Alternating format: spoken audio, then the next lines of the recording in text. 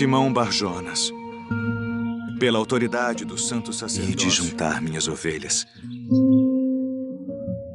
Não ireis pelo caminho dos gentios, nem entrareis em cidade de samaritanos, mas ide antes, as ovelhas perdidas da casa de Israel. E indo, pregai, dizendo: É chegado o reino dos céus. Os enfermos, limpai os leprosos, ressuscitai os mortos, expulsai os demônios. De graça recebestes, de graça dai. Não possuais ouro, nem prata, nem cobre em vossos cintos, nem alforjes para o caminho, nem duas túnicas, nem alparcas, bordão, porque digno é o operário do seu alimento. E em qualquer cidade ou aldeia em que entrardes, procurai saber quem nela seja digno. E hospedai-vos aí, até que vos retireis.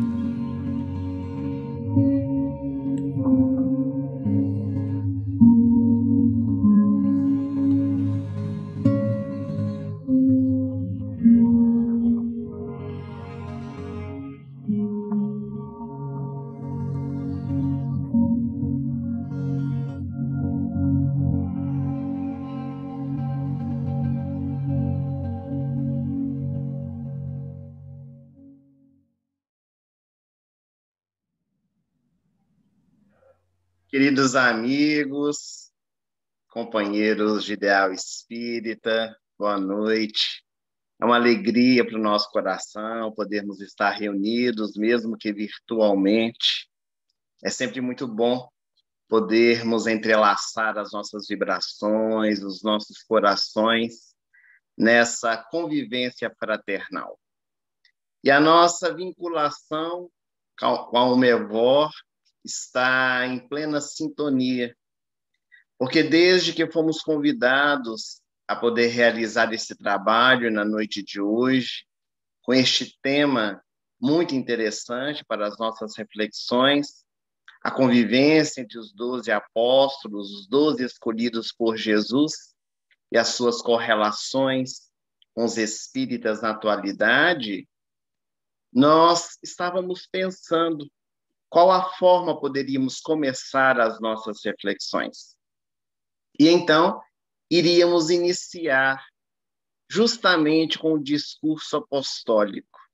Esse discurso que nós acabamos de escutar, este pequeno trecho do vídeo que foi exibido, de um filme muito famoso falando a respeito de Jesus, onde, naquela manhã, em Cafarnaum, depois de Jesus nomear os seus doze seguidores, os doze apóstolos, ele realizou este sermão que ficou conhecido como discurso apostólico, que daria diretrizes muito seguras para que os seus seguidores pudessem não apenas trabalhar junto dele, mas depois dar continuidade ao trabalho. Na noite de hoje, nós vamos fazer uma pequena parte expositiva, dando ensejo à abertura do nosso tema, e logo após nós abriremos o espaço para que todos possam trazer considerações, questionamentos, se for o caso, para a nossa troca de experiências, visto que esse nosso encontro é um diálogo entre amigos da Umevor. Quando Jesus esteve aqui na Terra, realizando o seu trabalho da divulgação das boas novas de alegria, ele contou com doze homens que foram as testemunhas oculares para estar ao seu lado, participar junto com ele da divulgação do Evangelho. E esses homens que Jesus chamou eram pessoas comuns, homens do povo, pessoas que tinham suas famílias, que eram pais, que eram filhos, que eram casados, que tinham seu trabalho remunerado e que, no entanto, puderam abrir os seus corações para receber o convite, seguindo os passos de Jesus. Muitas pessoas acham que os apóstolos de Jesus eram espíritos perfeitos, mas na verdade eles não eram. Eram espíritos preparados, espíritos que foram convidados para estarem junto de Jesus, porque tinham as predisposições necessárias para que o trabalho pudesse se fortalecer. Mas eles tinham as suas dificuldades interiores, eles tinham as suas experiências diárias do cotidiano, bem parecida com as nossas, e é por isso que hoje o cristianismo é uma das maiores religiões do mundo. Porque quando nós vemos os apóstolos de Jesus, os primeiros seguidores, nós nos vemos refletidos neles. E é por isso que seguimos os passos do meigo Rabi, com a certeza de que nós também podemos nos iluminar, também podemos nos transformar. Emmanuel, pelas mãos abençoadas de Francisco Cândido Xavier, tem ocasião de dizer que nós somos os discípulos da Boa Nova. Como alunos, escolhemos como mestre o meigo Rabi da Galileia. Nós vamos buscar algumas dessas personalidades alguns desses apóstolos que conviveram com Jesus, trazendo algumas situações que também estão presentes na nossa vida, na atualidade, e especialmente fazendo essa correlação conosco, que somos espíritas, que abraçamos essa ciência, filosofia e religião, que nos dá também diretrizes muito seguras, pautada no Evangelho de Jesus. Há um dos apóstolos de Jesus, pouco comentado, pouco se fala a respeito dele, chamado Bartolomeu. Bartolomeu, segundo as páginas do Novo Testamento, ele foi convidado para conhecer Jesus através de um amigo chamado Filipe. Filipe, quando encontrou com Jesus, recebeu dele apenas uma frase, uma palavra: segue-me. E Filipe o seguiu. E tendo como amigo dileto Bartolomeu, ele vai correndo à casa do companheiro para lhe falar a respeito do Nazareno. E ao chamar Bartolomeu, para que ele pudesse vir conhecer o Messias tão aguardado pelo povo judeu desde há muito tempo, Bartolomeu pergunta: Mas quem é esse homem? É o filho de José e Maria, o Nazareno. E então Bartolomeu sorri e diz: Mas pode vir alguma coisa boa de Nazaré? Todos achavam que Messias viria da grande Jerusalém, a cidade prometida. E então Filipe diz ao seu companheiro: Vem ver com seus próprios olhos. E Bartolomeu vai com Filipe ao encontro de Jesus, quando os dois estão ao lado do mestre, sem que Filipe dissesse nada, nem ao menos Bartolomeu. Eis que o meigo Rabi, olhando nos olhos de Bartolomeu, lhe diz: Tu és um israelita que não tem fingimento. Eu te vi assentado debaixo de uma figueira e naquele momento, Bartolomeu começa a chorar e ele diz: Eu creio que tu és o Messias. E Jesus lhe diz: Por que eu te disse tudo isso tu crês? Pois segue os meus passos e tu verás maravilhas. Mais tarde, o benfeitor espiritual Humberto de Campos, pela mediunidade de Chico Xavier, no livro Boa Nova, nos, narrar, nos narrará também uma experiência com Bartolomeu muito propícia para a nossa análise da noite de hoje, que é quando Bartolomeu está envolvido por uma estranha melancolia, uma tristeza que abate sobre o seu coração. Ele era muito perseguido pelos seus familiares, especialmente pelo seu pai, pelos seus irmãos, pelo fato de seguir a Jesus. E ele considerava isso um peso sobre os seus ombros que lhe trazia essa imensa tristeza. E no diálogo com Jesus, quando eles estão sozinhos uma noite, naquele colóquio, naquele conversação íntima, Jesus vai pontuando algumas questões para Bartolomeu, entre elas a morte de sua mãe. Bartolomeu estava sentindo um vazio com a despedida de sua mãe, embora ela tivesse falecido já há algum tempo. E era justamente isso que estava demovendo o coração de Bartolomeu, estava minando as suas energias. E ele chega mesmo a perguntar a Jesus se ele poderia sofrer pela morte da sua mãe.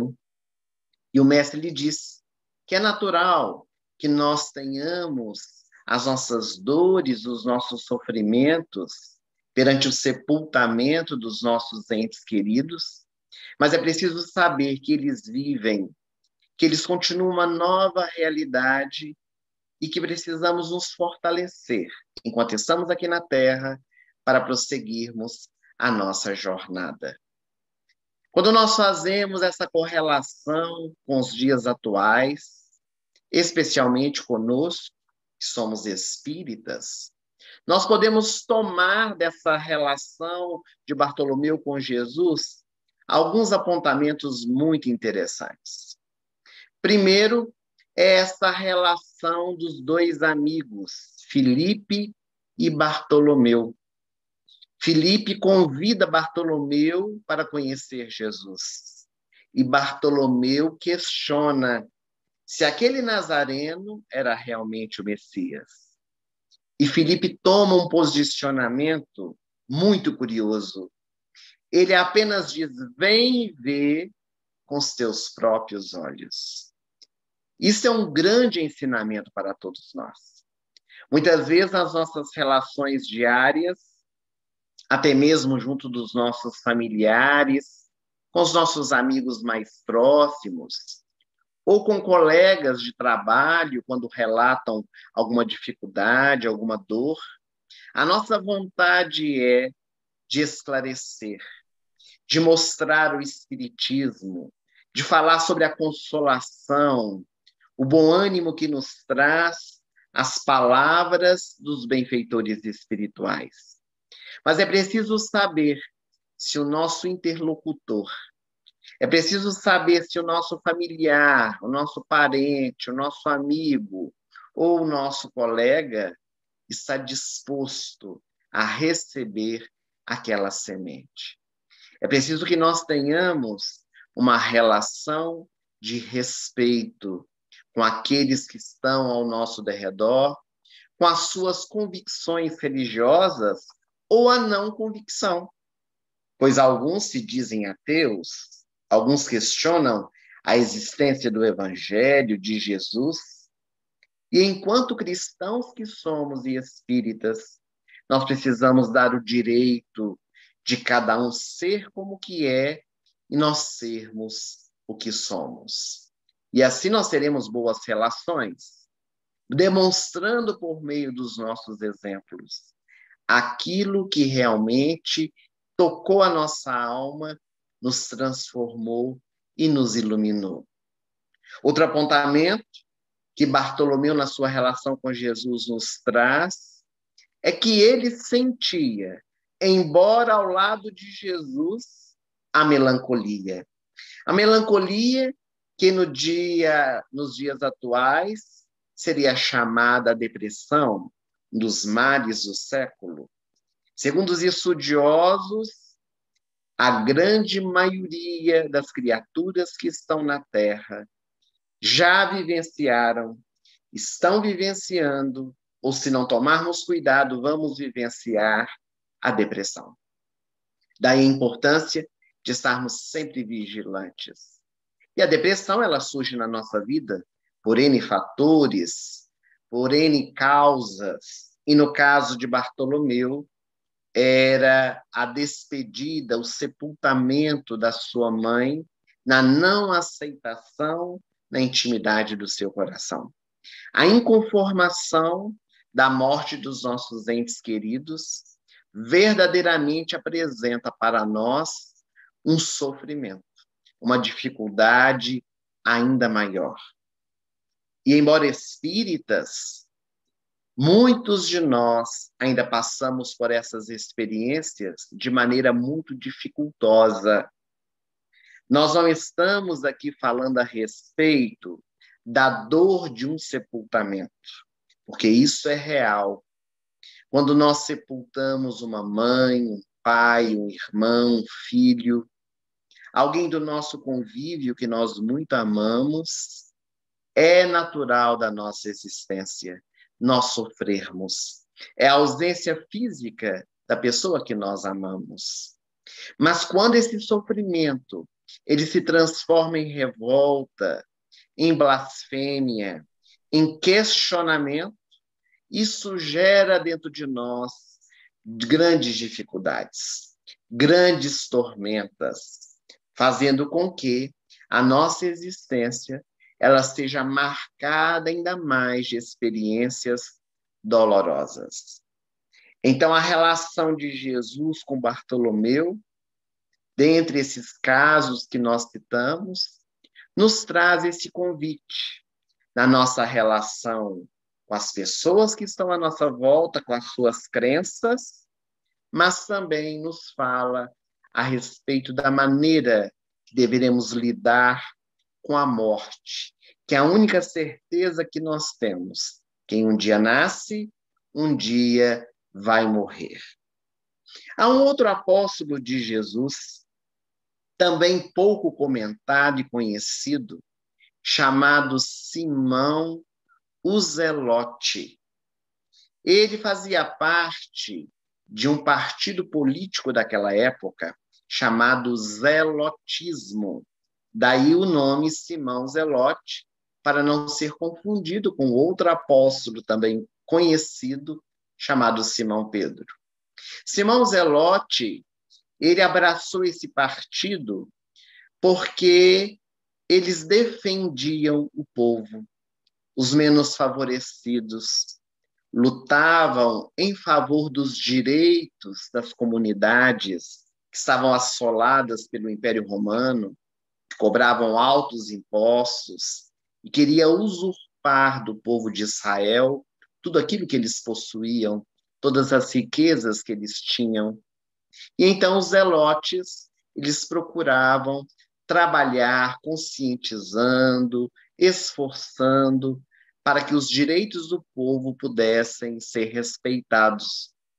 Contudo, com o passar do tempo, Simão Zelote percebeu que os zelotes eles estavam utilizando da energia, da violência para poder alcançar os seus desejos, para alcançar os seus objetivos.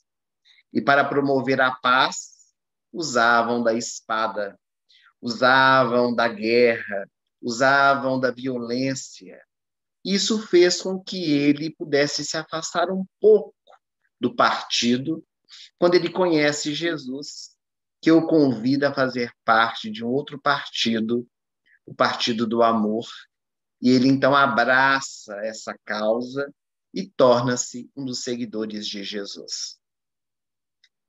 Esse apóstolo, ele nos traz um exame que devemos fazer enquanto espíritas no que diz respeito à nossa relação com a política. De uma maneira geral, algumas religiões têm algumas barreiras quando se fala a respeito de política. E nós, os espíritas, no nosso movimento espírita de uma maneira geral, também temos essa dificuldade.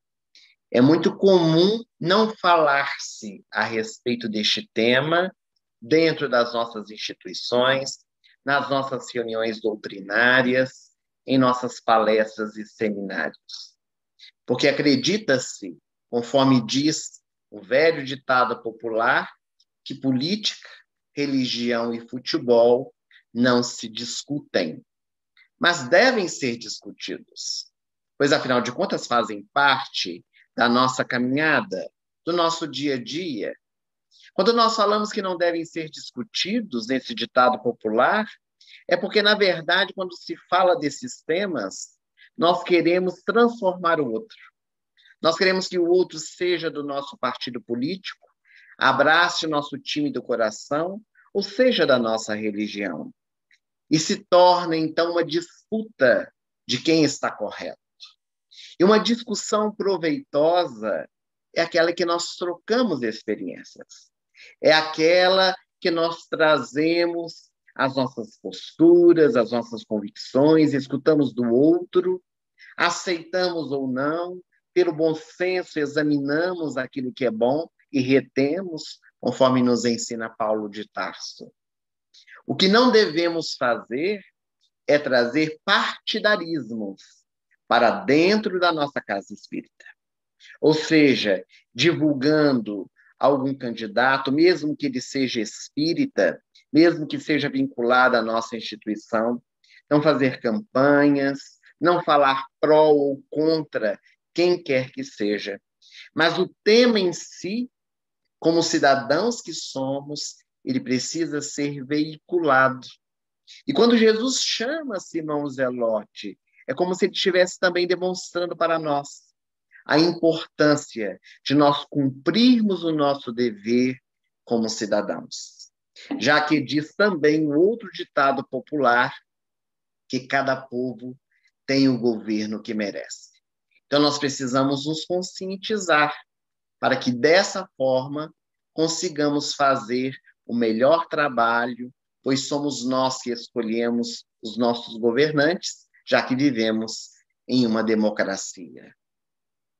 Há um outro apóstolo chamado Judas Tadeu, o santo das causas impossíveis, conforme narra as tradições da Igreja Católica, que traz uma passagem juntamente com Jesus que também nos faculta algumas observações no que diz respeito à correlação com o nosso dia a dia.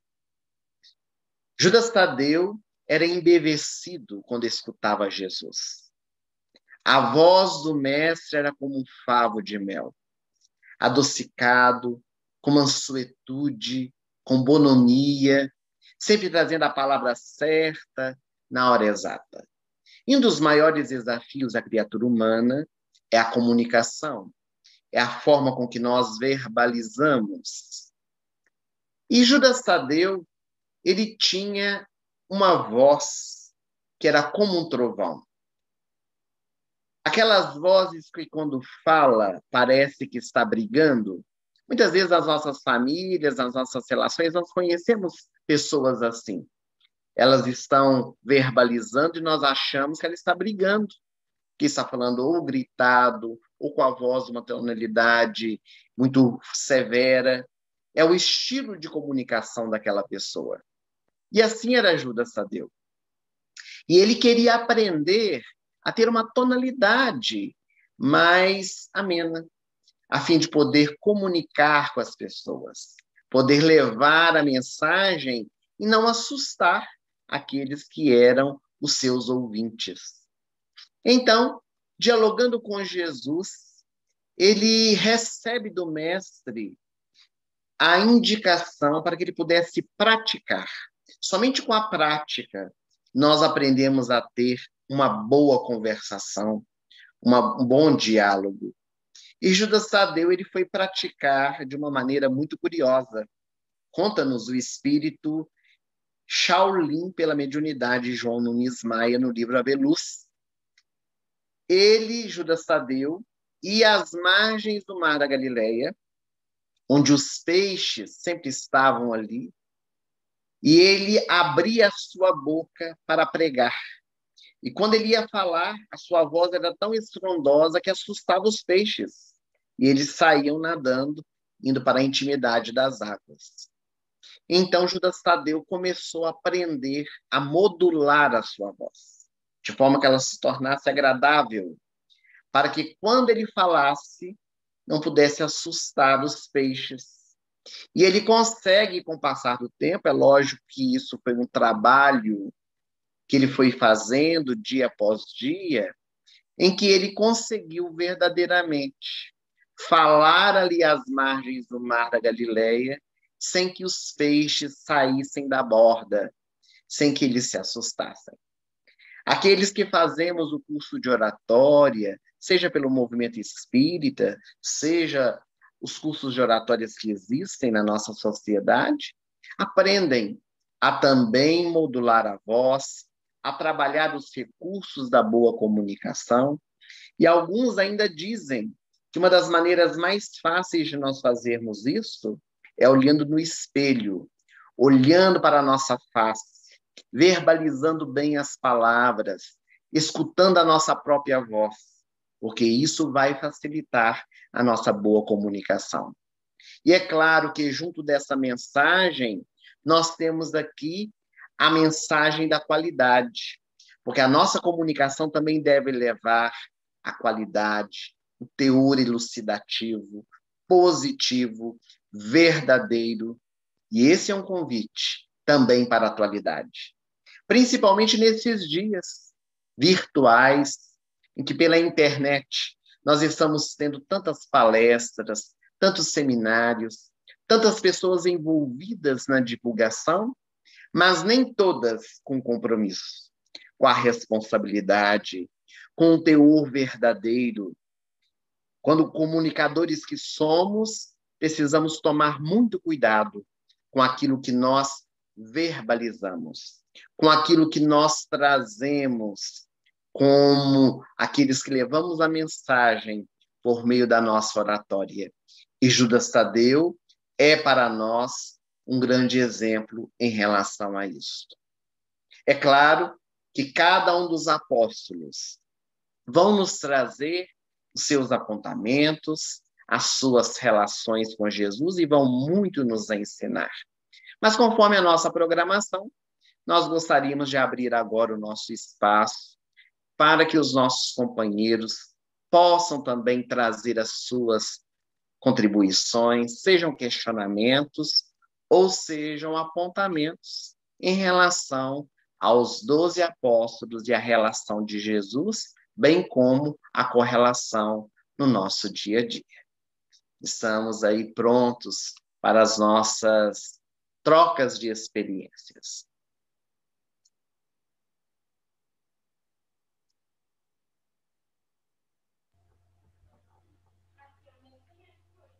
Bom, meus amigos, então, conforme nosso irmão o muito bem o disse, a nossa proposta é uma exposição dialogada, participação é, de todos aqui vai ser sempre bem-vinda. Lembrando que nessas nossas rodas de conversa não tem certo, não tem errado, tem a possibilidade de trocarmos conhecimentos, experiências, compartilharmos as leituras que temos feito, enfim.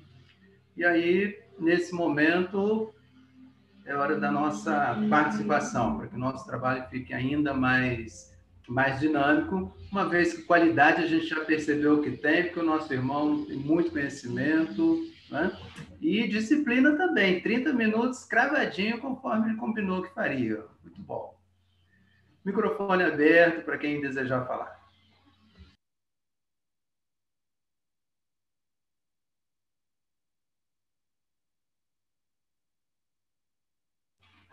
Mas tem que ser um de cada vez. Se falar todo mundo junto assim, olha, vai, a gente não vai entender.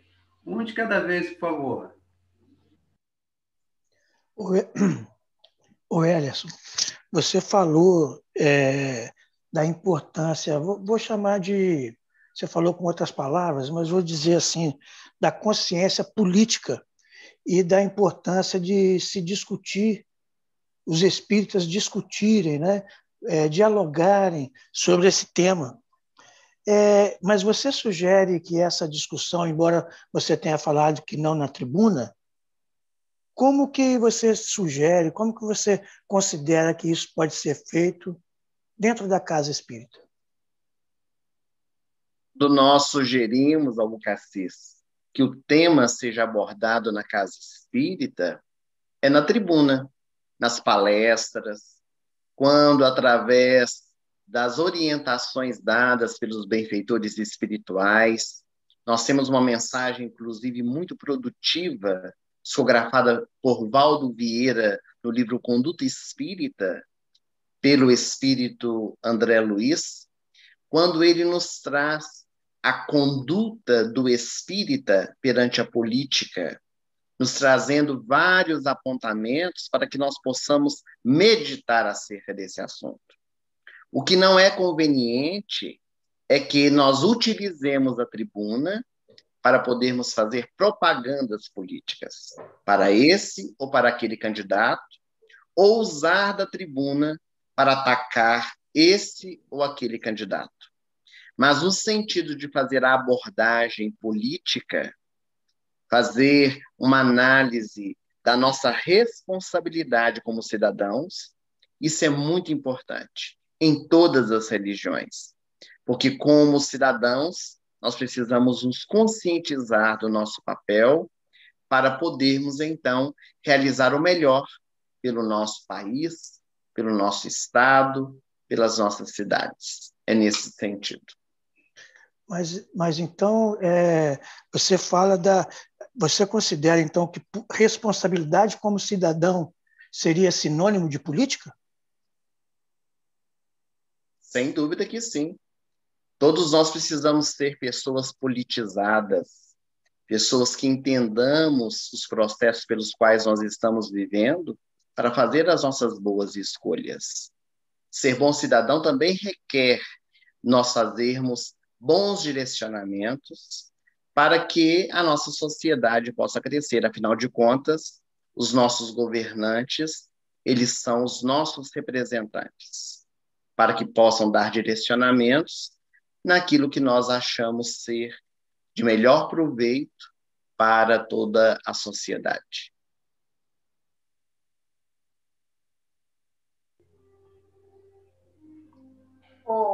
posso falar? Por favor, Neide. É, o Ellison, é, eu estava observando aí as características dos apóstolos que você colocou, né? E eu fiquei pensando aqui, os homens de hoje estão mais para Pedro, o bronco, aquele que já queria lá, que cortou a orelha lá do, do Mal, Malcolm, né? Porém, confiante, fiel ou Tomé? Descrente de tudo. Muito bem, Neide. Foi bom você ter nos trazido essa contribuição com esse questionamento, apresentando dois outros apóstolos de Jesus, cada um deles com as suas características. Quando nós lemos as páginas do Evangelho, Simão Pedro talvez seja um dos mais citados por todos os evangelistas. Realmente ele foi a pedra angular do cristianismo, conforme Jesus o dissera quando o convidou, logo no nos primórdios do trabalho, às margens de Cafarnaum. Mas Simão Pedro, nós observamos, não apenas pela leitura da Bíblia, como também pelo apontamento trazido pelos benfeitores espirituais, que muitas vezes ele é um homem arredio, um homem que falava sem pensar e depois chorava amargamente, era rude, às vezes tinha as palavras muito firmes, gostava de sempre ser o primeiro por ser o mais velho, para poder dar a sua opinião, para falar.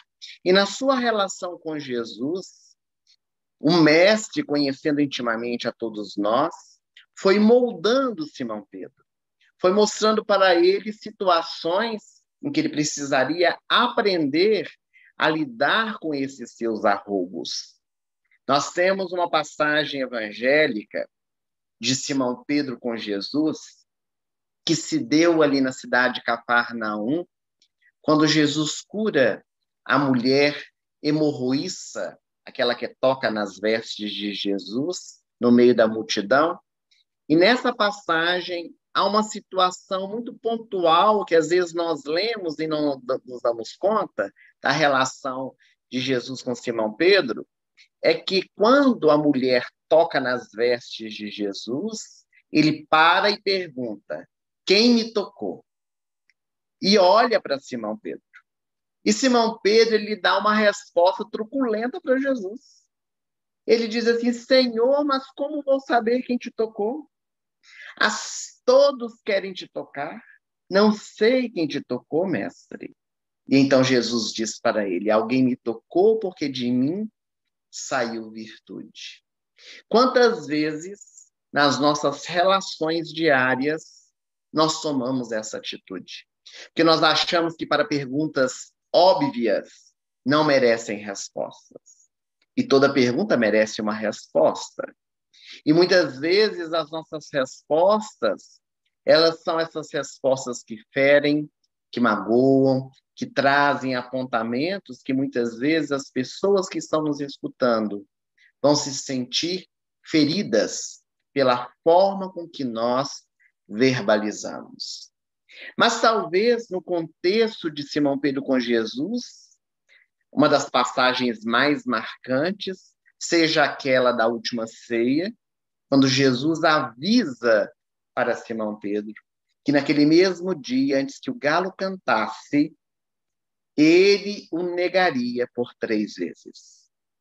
E Simão Pedro não pode compreender, porque Jesus ama, Simão Pedro ama Jesus, reconhece o evangelho, e logo depois a ceia eles vão para o jardim do Getsemane, onde acontece a prisão de Jesus, este fato citado pela Neide, em que Simão Pedro, para supostamente auxiliar Jesus, ele saca da espada de Malco, um dos soldados do Sinédrio, corta a sua orelha, decepa a sua orelha, e Jesus, aproveitando a oportunidade para ensinar a todos nós, pontuando a atitude de Simão, diz: embainha tua espada, porque quem pela espada fere, pela espada será ferido.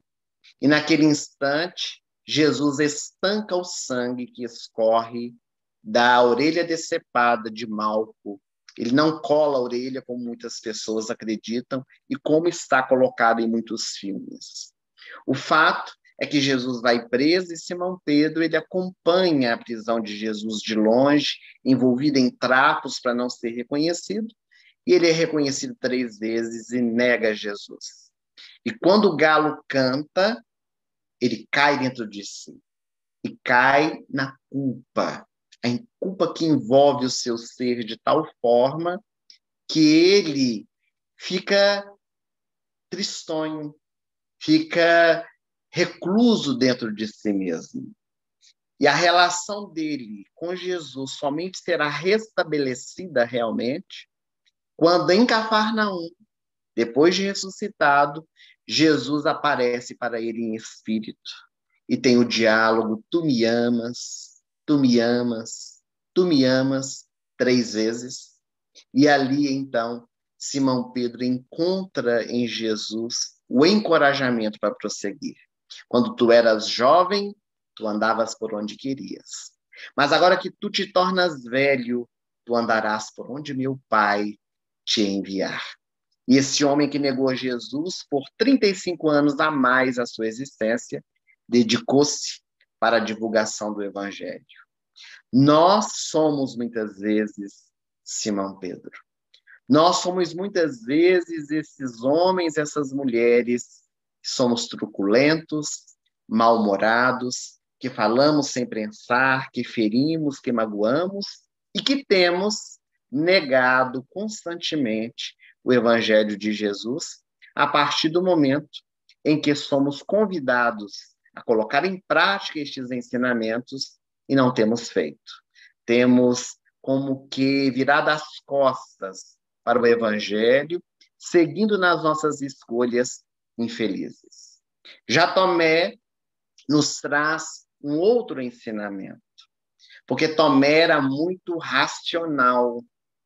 Mas a racionalidade que a doutrina espírita nos traz, ela precisa ser pautada em bases muito seguras. Nós não podemos gerar dentro de nós um cepticismo. A dúvida é importante, mas se ela se torna cepticismo, duvidando de tudo que existe, será muito prejudicial em nossa vida. E quando Madalena traz a notícia de que Jesus havia ressuscitado, estavam os onze apóstolos reunidos com Maria no cenáculo, eis que Tomé gargalha e diz a Madalena que ele não acreditava. Porque Jesus pediu para que os apóstolos fossem a Betânia, porque ele queria falar com eles. E somente os dez foram. Tomé não foi. E mesmo quando os companheiros de Tomé disseram a ele que Jesus tinha se manifestado, tinha aparecido a eles, Tomé duvidou novamente. E disse que só creria se metesse o dedo nas feridas. E eis então que Jesus aparece numa oportunidade, com portas e janelas fechadas, vem aqui Tomé e toca o teu dedo nas minhas feridas. Porque bem-aventurados são aqueles que não viram e creram. Quantas vezes nós somos como Tomé? Somos estes que desejamos ver para crer, mesmo estando inseridos dentro da doutrina espírita que nos demonstra essa fé raciocinada, que nos ensina a trabalharmos verdadeiramente para solidificar em nós os ensinamentos, mas nós ainda temos a nossa caminhada aquilo que se chama crença. E crença muda de um dia para outro. Quanta coisa nós acreditávamos e hoje já não acreditamos mais. Quantas coisas nós acreditamos hoje e amanhã vamos deixar de acreditar. É preciso desenvolvermos a sabedoria, porque a sabedoria ela permanece conosco. É a verdade que nos liberta, que não se modifica jamais. É o convite para a nossa análise de que as dúvidas elas são importantes. Santo Agostinho, no seu sermão, ele diz que Tomé duvidou para que nós pudéssemos crer. Mas é preciso que essas dúvidas elas estejam pautadas na razão. Foi por meio de dúvidas que a doutrina espírita surgiu. Foi por meio de dúvidas que Allan Kardec compilou a primeira obra, o Livro dos Espíritos. É por meio de dúvidas que nós crescemos, que nós desenvolvemos. Então, hoje a humanidade, conforme a sua pergunta, Neide, ela vivencia essa dicotomia. Ora somos Simão Pedro, ora somos Tomé. Mas o importante é nós verificarmos que ambos os apóstolos, embora errassem, embora tivessem caído, eles se levantaram. Porque Tomé, mesmo tendo duvidado, Tomé depois realizou um trabalho extraordinário e foi até a terras muito distantes da Índia, onde em Madras ele realizou a divulgação do Evangelho de Jesus. E ali foi morto por amor ao mestre dos mestres. Então, os dois apóstolos, na sua relação com Jesus, também nos ensina bastante para as nossas relações na atualidade com o Evangelho. O Ellison, é, antes, de, antes de passar a palavra para um desses nossos amigos que estão vestidos de azul, eu só não sei a ordem que eles estão querendo fazer uma pergunta a você, mas eu não sei bem a ordem, se é a Adriana primeiro, se é a Amanda, se vai ser a Monique, a Paula, a Bianca, o Vicente, o Marcelo. Eu ainda não sei a ordem, não, mas eu sei que eles farão aí uma, uma questão importante para você. Me chegou aqui a seguinte questão. Quando o nosso comportamento no dia a dia, enquanto espíritas, é, revela ou reflete bem o Bartolomeu que há em nós. Você citou algumas características aí do Bartolomeu, inicialmente a dúvida, né? Então a questão é: quando nosso comportamento no dia a dia, enquanto espíritas, reflete bem o Bartolomeu que há em nós? Nós citamos, nós citamos duas experiências de Bartolomeu quando nós nos referimos a ele. Uma delas foi em relação ao desejo de Filipe querer levá-lo para conhecer Jesus e a dúvida que ele trazia. E Filipe o convida para que ele pudesse ir ao encontro do mestre. Quando nós estamos no nosso dia a dia, no relacionamento com as pessoas, muitas vezes nós temos esse desejo. Muitas vezes, nas nossas palestras, ao final delas, nós somos procurados, às vezes, por uma mãe, às vezes por uma esposa, ou então por um marido, que diz assim: Nossa, Ellerson, sua palestra foi muito boa, falou muito ao meu coração, mas eu queria tanto que a minha esposa estivesse aqui, que o meu marido estivesse aqui, que a minha filha estivesse aqui, mas eles não são espíritas. Eles são pessoas muito boas, mas não são espíritas. E nós dizemos, mas por que tem que ser espíritas? Já não são bons filhos, boa esposa, bom marido? Por que tem que se tornar espírita? Se onde se encontra, está se iluminando. É porque nós precisamos nos conscientizar, como espíritas que somos, que a doutrina espírita ela responde sim às incógnitas humanas, mas ela traz essas respostas para quem está aberto. E nós já nos abrimos, nós aceitamos, nós nos conscientizamos, mas o outro não. E nós precisamos dar esse direito.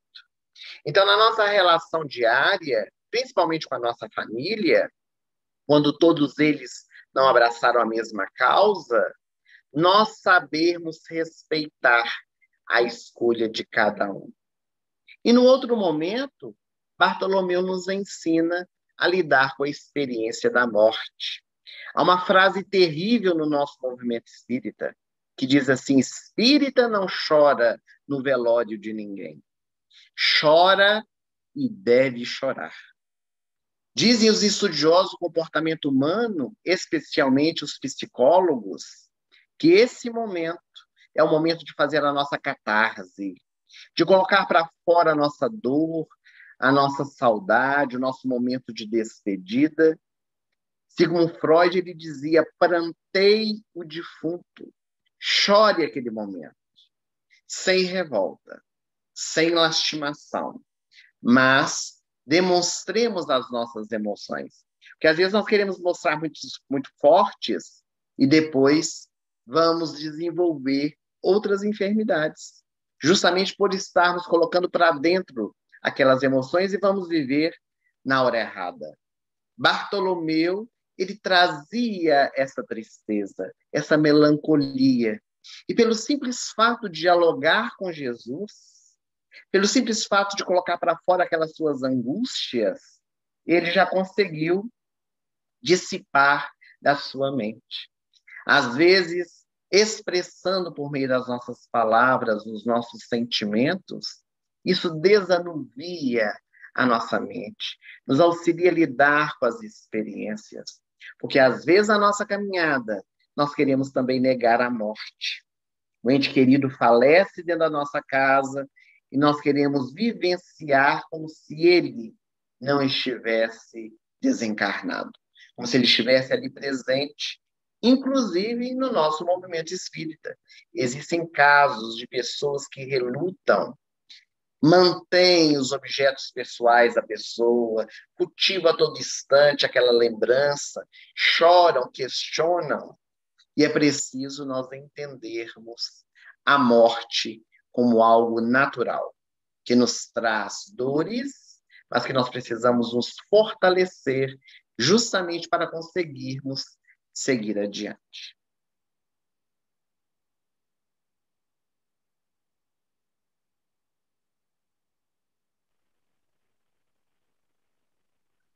Tá, tá, sabe a fila aí, Ronald? Você falou que tem bastante gente para falar. Eu não consegui anotar, mas quais são as pessoas aí que estão que, levantaram a mão, que, que o microfone está aberto aí, poderiam fazer a, a próxima pergunta.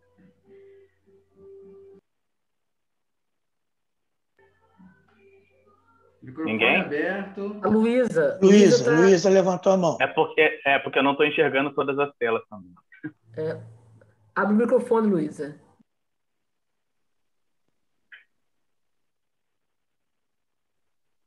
Pois é, agora eu consegui. É, é um- uma coisa que eu gostei assim de ouvir que foi né, a relação do Simão Pedro com, com Jesus, né? Ele se abriu, ele falava com Jesus e Jesus, claro, né, compreendia, compreende todo mundo. E nós, espíritas, eu passei uma dificuldade muito grande com isso, por isso que eu estou falando isso. É, eu tive depressão. Então, eu não podia falar com as pessoas que eu estava com depressão, mas você é espírita e tem depressão, isso é falta de fé, sabe? Então, tem algumas coisas que o espírita sente e que não pode contar para o outro espírita. Com quem que ele vai se abrir, com quem que ele vai é, procurar ajuda, sabe? Aí tem que ser parte profissional mesmo, porque com os colegas, com os companheiros de doutrina, é difícil encontrar essa ajuda. Então, é uma coisa que a gente precisa repensar, né? O fato mesmo, nós conhecemos uma pessoa que o, o esposo morreu, ela ignorou, assim, tipo assim, ignorou, não, vou ser forte, vou continuar o trabalho, tudo. Depois, o que, que aconteceu? Uma depressão, porque ela não vivenciou aquilo também, né? Aquele momento de luto, de dor. A gente tem que viver o luto, a gente tem que viver essa dor, pôr para fora. E como às vezes as pessoas nos criticam, aí a gente se recolhe. E isso faz muito mal. Agora, o que, que, que é correto? A gente falar ou a gente se calar? Como que a gente deve agir é, perante essas pessoas que, que pensam assim, que é a maioria, infelizmente, para mim, pelo menos que eu conheço. O Evangelho de Jesus, Luísa, nos ensina que nós precisamos analisar sempre a nossa postura, ter o bom senso de quando falar, de quando silenciar. As pessoas elas têm o direito de pensar o que quiserem a nosso respeito mas nós precisamos nos fortalecer para não nos deixarmos envolver pelo que os outros pensam de nós. Porque a ignorância, ela paira na mente de todos nós. E nós julgamos realmente as pessoas pela falta de conhecimento. Porque a depressão, conforme nós dissemos, tem diversas causas, algumas delas, inclusive, fisiológicas, onde nós precisamos buscar o tratamento conveniente, a ajuda terapêutica, os recursos espirituais, caso creiamos, no nosso caso como espíritas, buscarmos o apoio do evangelho, da tarefa, dos amigos. E nós precisamos saber lidar com as pessoas que estão ao nosso derredor passando por essa experiência. Primeiro, sem julgá-las. Segundo, esperando o tempo de cada um. Porque de nada adianta nós falarmos para uma pessoa depressiva: tudo vai passar, a vida é uma beleza. Olha ao seu derredor quantas pessoas estão sofrendo mais do que você. Porque naquele instante o depressivo acha que a sua é a maior dor. E tem sido, porque está experienciando aquilo na intimidade do seu coração. Daí a necessidade de uma ajuda terapêutica, porque, embora nós tenhamos muitas vezes boa vontade de querer ajudar, nós não temos o conhecimento aprofundado a respeito da enfermidade para conseguir fazer com que a pessoa saia daquela condição. Além do que os medicamentos, quando necessários, eles ajudam a recompor substâncias que o nosso cérebro não está fabricando ajudando ainda mais o pronto restabelecimento. Então, nós diríamos, Luísa, que nas nossas relações pessoais, não apenas em relação à depressão, mas a quaisquer outros assuntos que nós vamos dizer a alguém, contar a alguém, nós precisamos ter o fortalecimento de saber que uma pessoa, quando escuta a nossa história, o nosso problema, a nossa situação, ela tem uma visão, que pode ser uma visão correta, uma visão equivocada, uma visão de julgamento, uma visão de apoio, mas nós é que precisamos estar prontos de lidar com aquela experiência para retirarmos o que for melhor e seguirmos adiante. Até um ditado popular que diz que os cães ladram e a caravana passa. Devemos seguir adiante, não nos deixando envolver. Mas como nós somos muito influenciáveis pelo que os outros pensam, então nós preferimos nos fechar dentro de nós mesmos, e isso gera também muitas dificuldades. Porque ficar guardando somente para si as situações, isso muitas vezes o indivíduo não consegue é, trabalhar a intimidade e vai trazendo outras consequências, inclusive físicas. Porque diz, por exemplo, o espírito André Luiz no livro Sinal Verde, que quem alimenta rancor, mágoa, desenvolve problemas cardíacos e respiratórios. Então, seria melhor resolver o problema da mágoa, do ressentimento, quando ele ocorreu, quando alguém nos feriu, nos magoou, nós pudéssemos então nos assentar, conversar sobre aquilo, porque ficar remoendo durante anos e anos aquela situação, trazendo então dificuldades para a nossa caminhada. E nas nossas relações com os outros, é preciso nós desenvolvermos também a compaixão, de entender a dor do outro, sentir a dor do outro e poder auxiliar da melhor forma possível. O Ellison, a Bianca, ela está com a mão levantada. Creio que ela tem uma pergunta para você. Pode falar, Bianca. Pode. O Ellison, eu não sei se é possível, mas eu queria que você falasse um pouquinho sobre ah, capítulo 7 lá do Evangelho, tem uma passagem no item 4, que fala sobre a mãe de, os filhos de Zebedeu e a indignação dos outros dez apóstolos pelo pedido que a mãe deles faz a Jesus. Eu queria que você é, trouxesse isso para a gente e colocasse isso dentro da casa espírita. Essa passagem, evangé... Essa passagem evangélica realmente toca o nosso coração.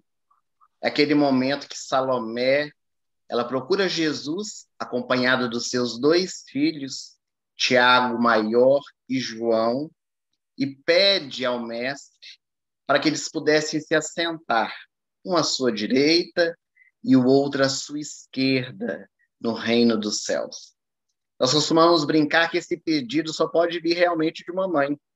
Uma mãe que ama, uma mãe que quer o melhor para os seus filhos. E Jesus, ele traz com a sua sabedoria, porque ele nunca feriu a ninguém, ele traz com a sua sabedoria o entendimento a respeito desse pedido. Primeiro, ele diz a ela que não caberia a ele escolher quem vai assentar à sua direita, à sua esquerda, no reino dos céus, mas caberia ao seu pai que estava nos céus. E além do que, eles estariam prontos para beber do cálice que eu vou beber, e os jovens, os dois jovens, eram os apóstolos mais jovens que Jesus tinha, respondia, responderam em uníssono quase, nós estamos prontos, nós beberemos, como de fato beberam. Antes de nós comentarmos sobre esse pedido de Salomé a Jesus, é interessante nós analisarmos um pouquinho a relação deles com Jesus, porque quando Jesus os convidou para poder seguir os seus passos. Eles estavam trabalhando com Zebedeu, e João, naquela época, tinha 16 anos de idade. Era um rapazote. Tiago Maior é um pouco mais velho, bem mais alto, por isso chamado Tiago Maior. E eles aceitam prontamente, deixam os seus sonhos de juventude para poder acompanhar Jesus por onde ele fosse. Foram os primeiros seguidores de Jesus, e João foi o único apóstolo que esteve com o mestre desde o momento que foi convidado, participando das bodas de Caná, até o último instante na cruz, quando ele acompanha os, os últimos momentos de Jesus ao lado de Maria de, de Nazaré. Quando nós observamos esse pedido de Salomé, é muitas vezes também o nosso desejo seja para nós próprios, ou seja para os nossos familiares, aqueles que são mães, para os filhos, que eles tenham um bom lugar, que tenham um lugar reservado de alegrias no mundo espiritual. Mas todos nós sabemos através dos próprios ensinamentos de Jesus, que a semeadura é livre, mas a colheita é obrigatória.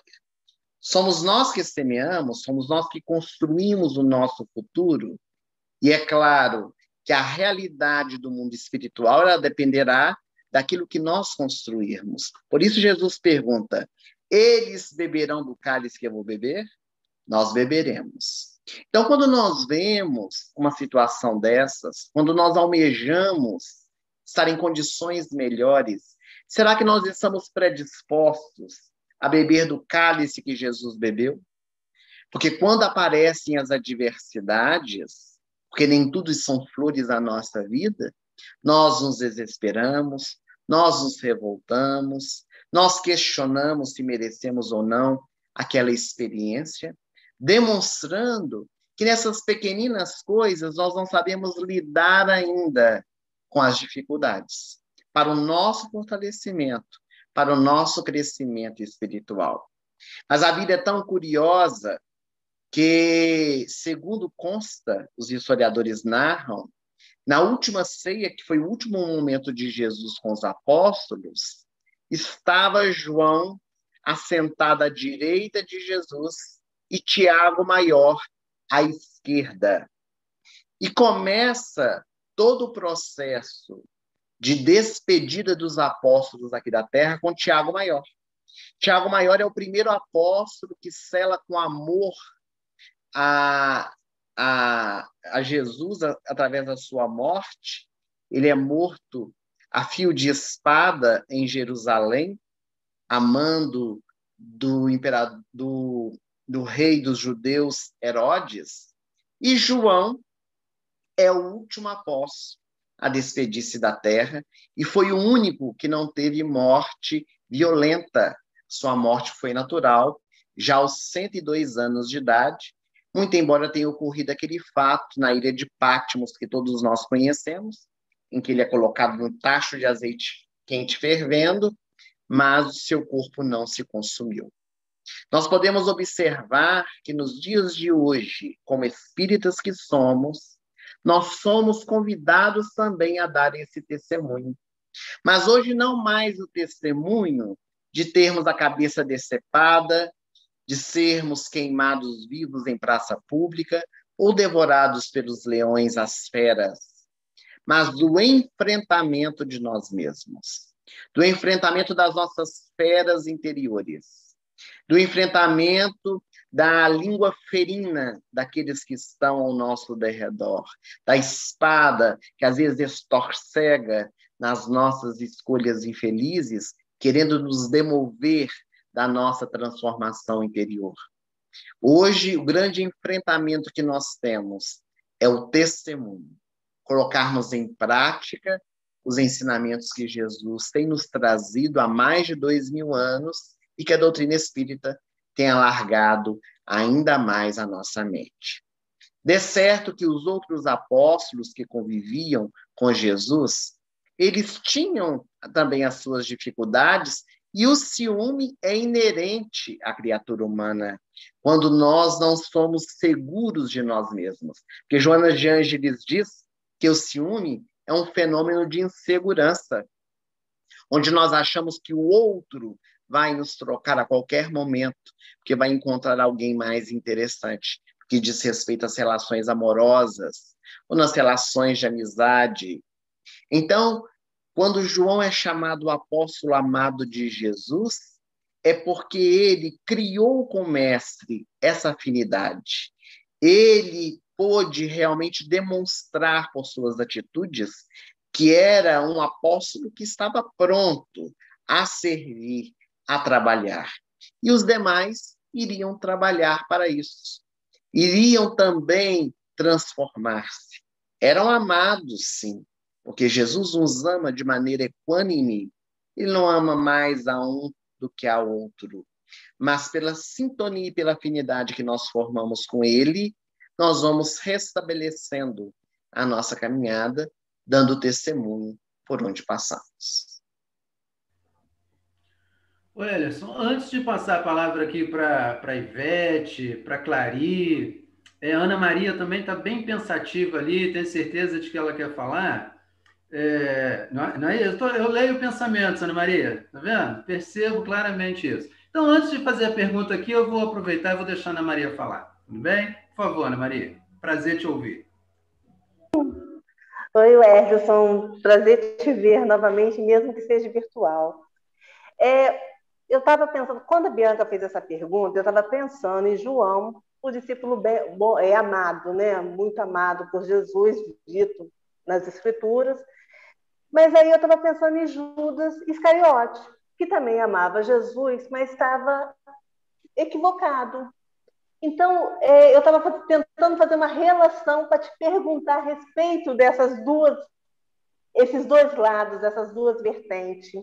Então, como, então, no Judas Iscariote, como a gente evitar estar equivocados também? Excelente pergunta. Estava esperando que alguém lembrasse de Judas Iscariotes, porque ele é muito importante também na nossa análise dessa noite, quando nós falamos da relação dos apóstolos com Jesus, trazendo para os nossos dias atuais. Judas Iscariotes, desde a sua juventude, o seu desejo era enriquecer. Ele queria ter uma vida mais abastada. Ele vivia numa pequenina aldeia chamada Queriote, e ele tinha esse anseio desde sempre para poder progredir. Foi quando ele mudou-se para Cafarnaum, que era uma cidade bem maior. Na aldeia em que ele vivia, jamais ele poderia conseguir o seu intento. E ele abre um comércio para poder obter lucros. Então, ele vende peixes e quinquilharias. E, segundo consta, foi ali que Jesus o encontrou e chamou para que ele pudesse participar junto com ele das boas novas.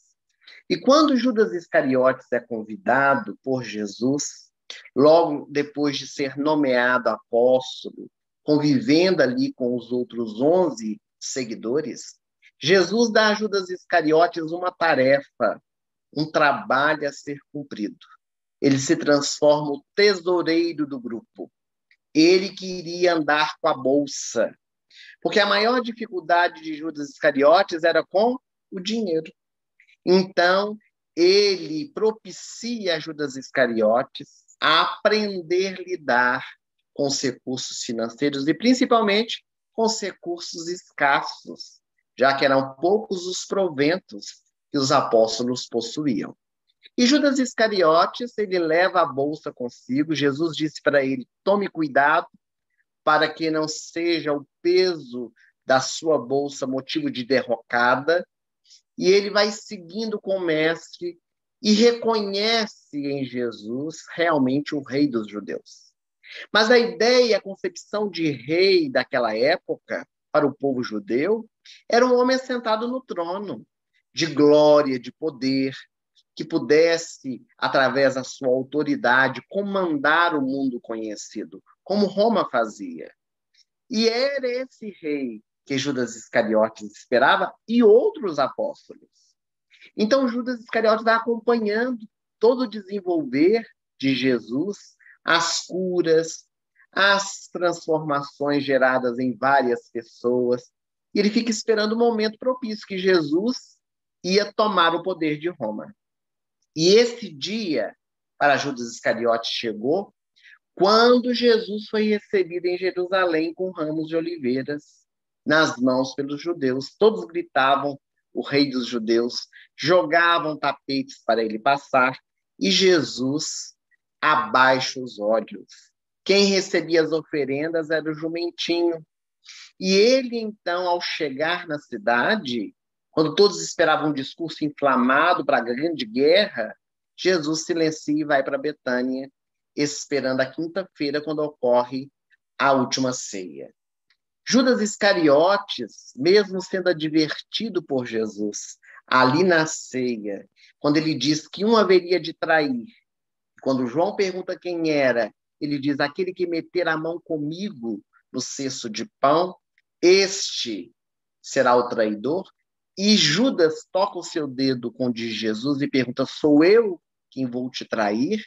Jesus lhe diz: Tu o dizes, não eu. Ou seja, a escolha é sua. Ao contrário do que muitos pensam, Judas Iscariotes não reencarnou para poder entregar a Jesus. Foi uma escolha. E ele teve até o último instante. Emmanuel diz isso através da mediunidade de Chico Xavier, quando fala que no jardim do Getsemane, quando Judas Iscariote chega para beijar o rosto de Jesus, que era um símbolo de amizade, beijo na face não é traição. Um judeu só beija na face do outro quando é seu amigo. Era para dizer a Jesus: Eu sou seu amigo, estou te dando essa grande oportunidade. Vai no Sinédrio e diante de Anás e Caifás mostre o seu poder. E então Jesus, naquele instante, diz para ele: Amigo, a que vieste? Era o último momento para ele poder repensar. E ele fica aguardando que Jesus desse a reviravolta. E quando ele vê que Jesus tinha sido julgado, preso e no dia seguinte levado ao pretório para Pôncio Pilatos e a multidão pede a crucificação, quando começa a via crucis, Judas Iscariotes não suporta e busca o suicídio. Judas Iscariotes também se parece muito conosco, nos nossos equívocos. E a nossa ignorância, ela se dá por quê? Pela falta de conhecimento, pela falta da busca do entendimento. Que às vezes nós lemos e achamos que já sabemos, mas precisamos ainda nos embrenhar, precisamos ainda nos instruir cada vez mais para não nos tornarmos pseudos sábios. Jesus, por diversas vezes, havia dito: Meu reino não é deste mundo. Quando Judas Iscariotes questiona Jesus, o perfume que Madalena joga nos pés do mestre, lava. Senhor, mas esse perfume é muito caro, vamos lá vendê-lo e dar o dinheiro aos pobres? Jesus diz: essa mulher dá o que tem melhor de si. Demonstrando para Judas que esses valores que nós damos às coisas são efêmeros, que o mais importante é aquilo que nós trazemos na intimidade do nosso coração. Judas Iscariotes está presente em nós, nas nossas fugas espetaculares. Não apenas no suicídio, na busca do autoextermínio, quando estamos frustrados, quando estamos infelizes ou culpados de algo que nós fizemos, mas também nas nossas fugas de enfrentamento das oportunidades que batem à nossa porta. Diante de um erro, por exemplo, quando nós erramos, nós precisamos ter essa capacidade de reconhecer o nosso erro, de corrigir e seguir adiante. Porque na contabilidade divina, o que mais pesou para Judas Iscariotes não foi aquilo que nós chamamos de traição, mas o que mais pesou foi o suicídio. Mas a misericórdia divina, que sempre se apresenta para todos nós, estenderá a mão a esse apóstolo, que nas sucessivas reencarnações vai burilar o seu espírito, culminando como Joana d'Arc, traída pelo seu próprio povo, dando seu amor a Jesus naquela existência.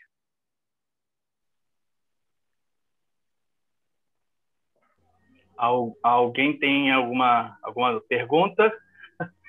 Não, eu vou fazer um apontamento. Bom, então vou falar, Wellington.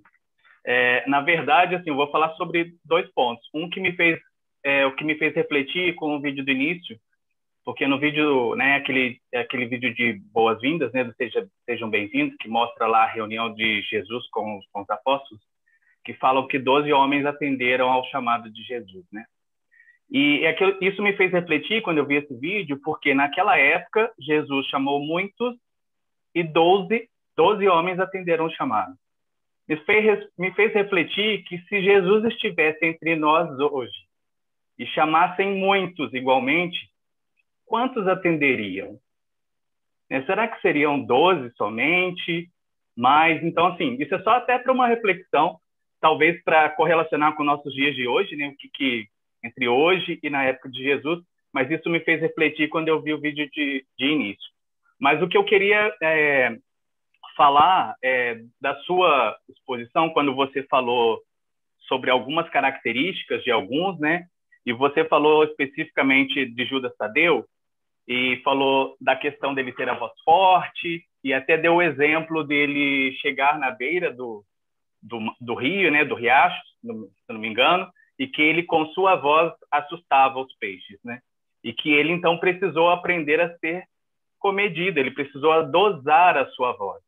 E quando a gente faz relação com os dias de hoje, nós vemos que hoje em dia existem muitos excessos, né? E que de uma certa forma a figura representada por, Judas Tadeu, que teve esse trabalho de é, precisar se disciplinar para que ele fosse mais comedido, né? A gente precisa disso nos dias de hoje também, porque quantos de nós vemos aí vários excessos e nós mesmos cometemos vários excessos. Então, na verdade, aqui a gente vê a importância da disciplina. Não é uma questão de nos tolirmos, porque quando a gente to quando a gente fala em tolir, parece que nós estamos nos reprimindo. Mas não é o reprimir, como você falou, por exemplo, de nós, quando falou do, do da, da, morte, né?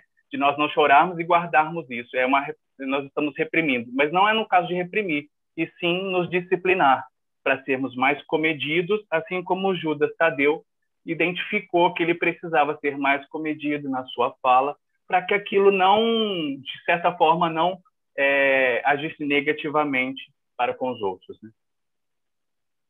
Excelentes reflexões aí, Adriano, para todos nós, que realmente a experiência do nosso dia a dia vai nos convidando a podermos, pela vigilância e pela oração, ir moldando as nossas atitudes, nosso modo de falar, os nossos pensamentos. E quanto a este questionamento que foi feito logo no início no vídeo, que você levanta a questão agora, é uma resposta íntima que cada um de nós devemos buscar. Se hoje Jesus estivesse conosco aqui presencialmente e nos convidasse a seguir os seus passos, se nós aceitaríamos. Porque uma característica que é unânime nos doze apóstolos é que quando eles foram chamados, nenhum pestanejou, nenhum pediu para pensar. Nenhum disse assim: eu vou lhe resolver um problema com a minha sogra, vou lhe resolver um problema com meu filho, vou lhe resolver um problema com meu trabalho. Nenhum todos eles foram e aceitaram o convite, mesmo aqueles que não tinham nenhum contato com Jesus, que estavam conhecendo ele naquele instante. E nós temos sido convidados simbolicamente a todo instante da nossa vida. Jesus está muito mais presente do que nós imaginamos nas nossas vidas por meio do seu evangelho. No entanto, nós temos a cada dia negado esse convite, temos virado as costas e não temos entendido a profundidade de nós aceitarmos esse convite para podermos iluminar o nosso ser e aqueles que estão ao nosso derredor. O Ellison, nós, nós estamos um tempinho assim, é, cronometrado aqui, pouco mais de cinco minutos, ainda dá tempo de participar. Mas só para pegar um gancho nessa sua fala, assim como não aconteceu anteriormente, nesse chamado de Jesus, nesse convite, para vincular a religião, não foi dessa forma? Necessariamente hoje, esse chamado de Jesus estaria atrelado a alguma religião? Ou os comportamentos em geral no dia a dia, o exercício é, responsável, por exemplo, da profissão, a relação solidária com, com familiar, com o vizinho, são também aspectos aí desse, desse chamado de Jesus. Há uma frase, Ronald, do padre Fábio de Mello, em que ele diz que na atual sociedade nós temos muitos religiosos, mas poucos espiritualizados. Que seria muito mais importante que nós fôssemos espiritualizados do que religiosos. É claro que a religião ela nos dá uma base. A religião nos auxilia muito, que é uma forma de nós conectarmos com Deus.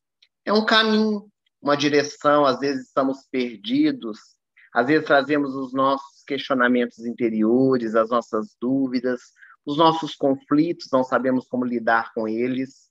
E a religião ela pode nos auxiliar a lidar com essas experiências. Mas é claro que, conforme diz o Espírito de Verdade, Allan Kardec, a igreja não salva ninguém.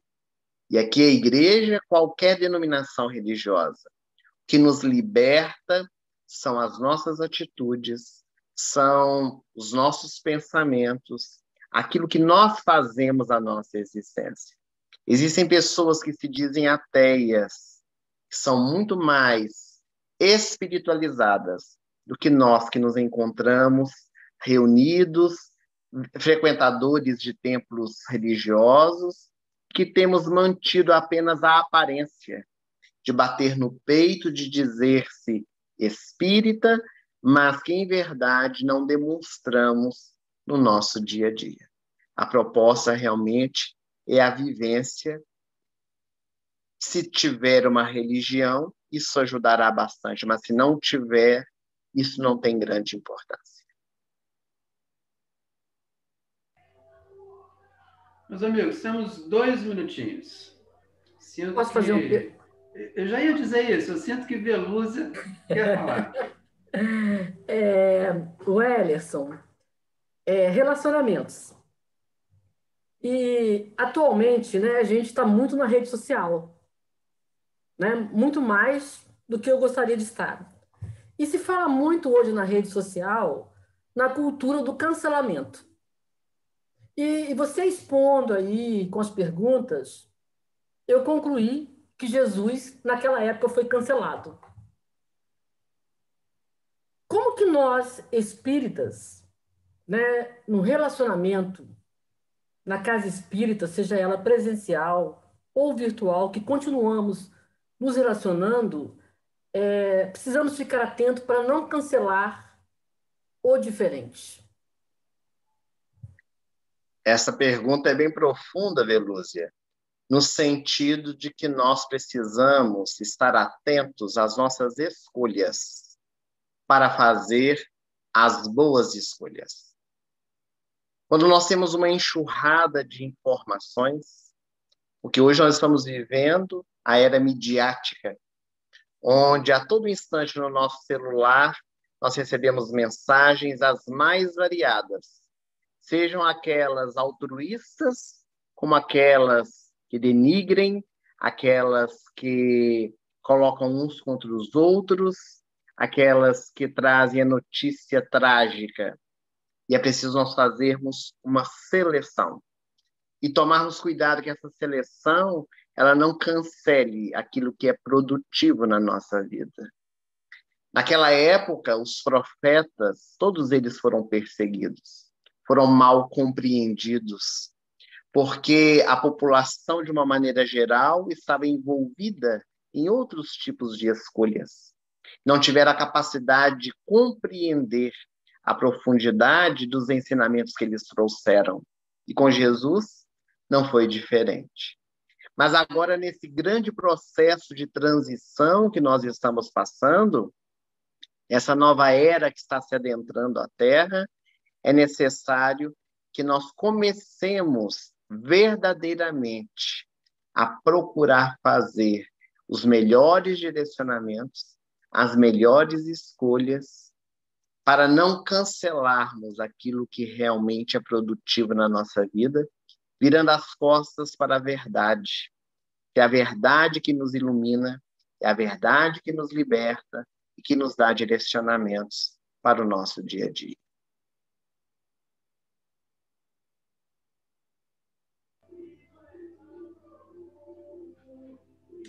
Mais, mais alguém? Mãozinha levantada aí. Senão é, nós Ronald, vamos. Ronald, chegou uma pergunta para mim, mas eu acho que já está em cima, né? A gente pode combinar com o Ellison para que ele seja. É, o Ellison, até eu gostei da pergunta, porque eu sempre tive vontade de fazer essa pergunta, mas fizeram. Quais seriam as consequências para a missão de Jesus, o, o Evangelho, né, a, a, a boa nova que ele trouxe, se para compor o apostolado dele ele tivesse escolhido também mulheres, já que na época a mulher era tão desvalorizada, quais seriam as consequências? para a missão dele. Mas Jesus não excluiu as mulheres, muito antes, pelo contrário. Ele foi o maior feminista que o mundo já conheceu. Jesus incluiu as seguidoras como grandes trabalhadoras à sua seara, entre elas a figura extraordinária de Madalena, que realizou um trabalho especialmente junto àqueles que eram os mais renegados da sociedade, os leprosos, e junto deles levou a esperança, levou o bom ânimo, levou a alegria de viver. A mulher hemorroíça, conta-se que ela também foi uma grande propagadora da mensagem, Verônica, que deu o seu testemunho, que levou a mensagem ao povo da sua cidade, Cesareia de Filipe, demonstrando que Jesus fizera por ele, por ela, transformando a muitos corações. A mulher adúltera que seria apedrejada em praça pública e que Jesus dá-lhe uma nova oportunidade, diz a benfeitora Amélia Rodrigues que ela foi para uma terra bem distante de Tiro e ali fundou numa casa uma instituição para ajudar aos necessitados do caminho, falando do Evangelho de Jesus, ao ponto de receber dez anos depois o marido que chega leproso e ela o acolhe com amor, dando testemunho da sua transformação interior. Então, as mulheres, elas estão mais presentes do que nós imaginamos. Talvez elas não apareçam, elas não saltem aos olhos como esses doze seguidores de Jesus, os doze apóstolos, mas todas elas tiveram a sua importância. As mulheres do Evangelho, as mulheres piedosas, que na hora que Jesus mais precisou, foram as únicas que estiveram ao lado dele. Salomé, Maria, sua mãe, Marta e Maria, irmãs de Lázaro, Joana de Cusa, essa mulher extraordinária que pôde dar o exemplo dentro do lar. Elas, talvez na época, não tinham espaço devido para falarem aos grandes multidões, como os apóstolos falavam, mas elas fizeram um trabalho grandioso da exemplificação para as minorias, para aqueles que estavam ao seu derredor e puderam ver o que o evangelho é capaz de fazer nas suas vidas.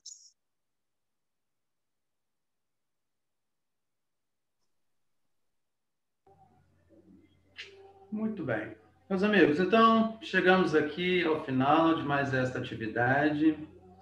É, muita alegria para nós, né? muito conhecimento, essa troca realmente enriquece muito.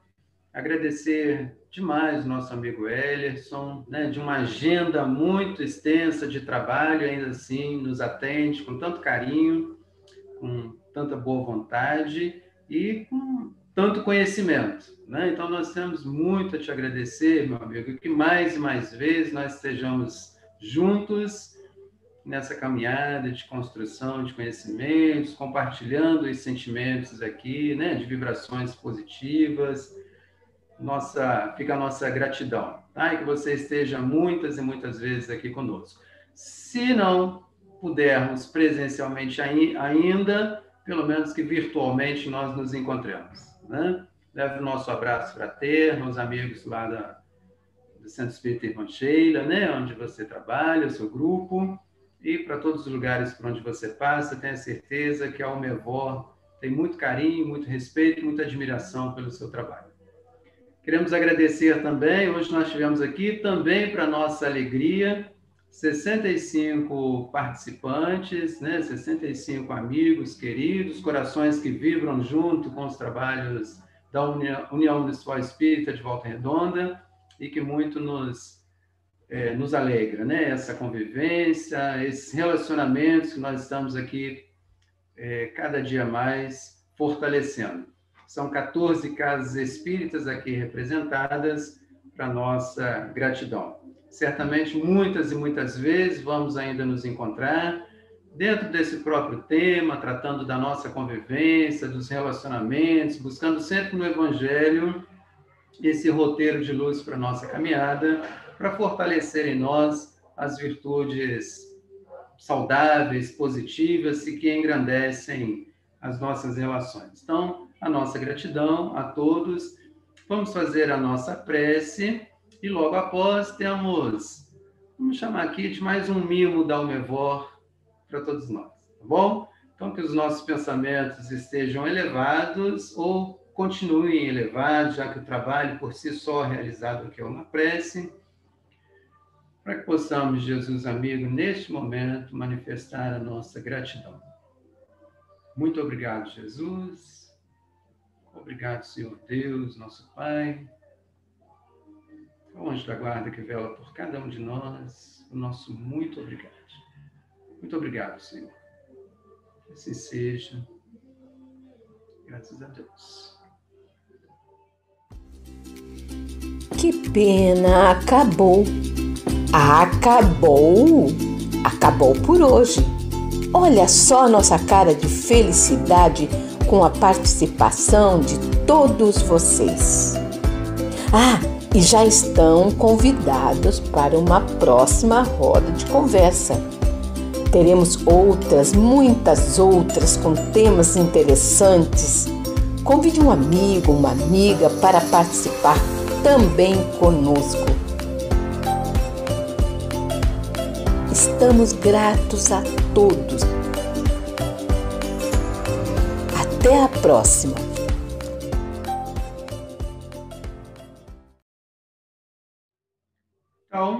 Até a próxima, né? Nossa gratidão, nosso carinho. Wellerson, mais uma vez, nosso muito obrigado. Tchau, tchau.